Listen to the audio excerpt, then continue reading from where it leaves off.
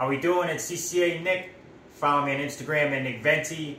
If you enjoy this content, please give me a thumbs up.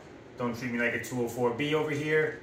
So I'm to make a video about what I eat during the summer. And as you guys know, I signed the no lunch policy, so I don't take a lunch. So I need something to eat on the go. So these two main things, I usually get a variation of these two when I go grocery shopping, either on my day off or Sunday evening. I usually go do my grocery shopping. So I either get some sort of like granola bar, something that's easy where I could just open and eat quickly, something like that, or fruit, some variation of fruit, peach slices. I got pineapple slices, uh, bananas, some sort of fruit, especially in the summertime, it definitely hits the spot. And especially since I don't have time to sit down and eat a lunch. I mean, I could, but I'd rather get the 30 minutes to pay and leave sooner. So usually fruit or like some type of granola bar. And then in the mornings, I'll eat like a muffin or something. Maybe go to the convenience store, get a muffin, uh, something that effect. But, uh, you know, I eat very light. I only eat usually one meal a day. At the end of the day, I'll usually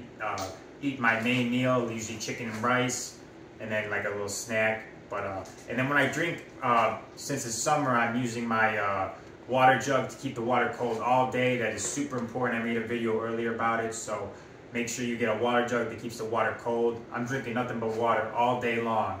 Avoid pop with the hot weather because you'll just feel sick.